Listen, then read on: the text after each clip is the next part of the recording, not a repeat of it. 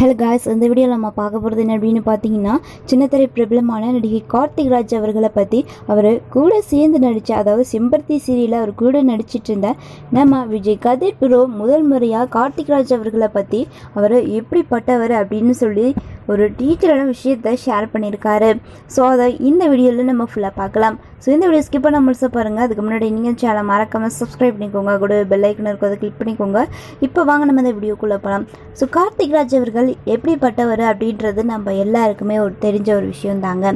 So அவர் serial and மூவிஸ்லலாம் வந்து நடிச்சிருக்காரு. அது மட்டும் இல்லாமல் வெப் சீரிஸ் கூட பண்ணியிருக்காரு ஸோ எல்லாத்துலேயுமே பார்த்தீங்கன்னா அவருடைய கேரக்டர்ஸ் ஆனது ரொம்பவே குட்டாக தான் இருந்துகிட்ருக்கும் என்ன ஒன்று அவர் அவர் வந்து முகிலன் வெப் சீரிஸ் அப்படின்றதுனால அந்த ஒரு வெப் சீரிஸில் மட்டும் பார்த்தீங்கன்னா அவர் கொஞ்சம் வந்து பேடாக காட்டியிருந்தாங்க.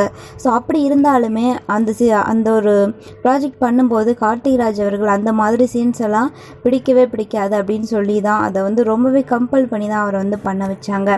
ஸோ இந்த நிலையில் கார்த்திக் ராஜா அப்படின்னு சொன்னாலே ஒரு குட் பர்சன் அப்படின்னு தான் இப்போ வரைக்குமே எல்லாருமே சொல்லுவாங்க.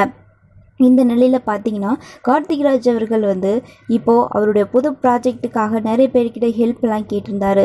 அது மட்டும் இல்லாமல் நிறைய பேர் வந்து நிறைய பேர் வந்து பாசிட்டிவ் கமெண்ட் கொடுக்குறாங்க. ஒரு சிலர் மட்டும்தான் உங்ககிட்ட பணத்தை வாங்கிட்டு கண்டிப்பாக இவர் ஏமாத்திடுவார் அப்படின்னு சொல்லி சொல்லியிருந்தாங்க இல்லையா? ஸோ அதை பற்றி இப்போது விஜய் கதிர் ப்ரோ வந்து டீட்டெயிலாக ஒரு விஷயத்தை வந்து ஷேர் பண்ணியிருக்காரு. ஸோ கார்த்திக் ராஜ் அவர்களா? கார்த்திக் ராஜ் அண்ணாவை பொறுத்த வரைக்கும் அவர் தன்னோட லைஃப்பில் எப்போவுமே பார்த்தீங்கன்னா மற்றவங்களுக்கு துரோகம் நினைக்கவே மாட்டார். ஸோ ஒருத்தவங்களுக்கு கஷ்டம் அப்படின்னா ஓடி போய் வந்து ஹெல்ப் பண்ணுவார். ஆனால் தன்னோட கஷ்டத்தை எப்போவுமே வந்து யாருக்கிட்டையுமே ஷேர் பண்ணிக்க மாட்டாங்க. ஸோ தனக்கு இப்படி ஒரு கஷ்டம் இருக்குது அப்படின்னு சொல்லிட்டு யாருமே தன்னை பற்றி ஃபீல் பண்ணக்கூடாது அப்படின்னு நினைக்கிறவர் தான் Karthik bro so Karthik bro வந்து செம்பருத்தி சீரியலில் மட்டும் எனக்கு ஒரு ப்ரோவாக இல்லாமல் ரியல் லைஃப் பொறுத்த வரைக்கும் அவர் என் கூட பறக்கலாட்டியும் எனக்கு ஒரு அந்த மாதிரி தான் அப்படின்னு சொல்லி இப்படி எமோஷ்னலாக வந்து பேசியிருக்காங்க.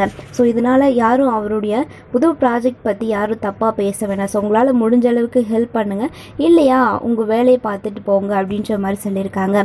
ஸோ இந்த நிலையில் பார்த்தீங்கன்னா கார்த்திக் ப்ரோவோட புது ப்ராஜெக்ட்டுக்கான அதாவது பூஜைகள் எல்லாமே முடிஞ்சிடுச்சு. ஸோ அவருடைய புது ப்ராஜெக்ட் ஸ்டார்ட் பண்ண போகிறாங்க அப்படின்ற மாதிரி நம்ம இப்போது ரசிகர்கள் செம்ம ஹாப்பியாக இருந்துட்டு இருக்காங்க.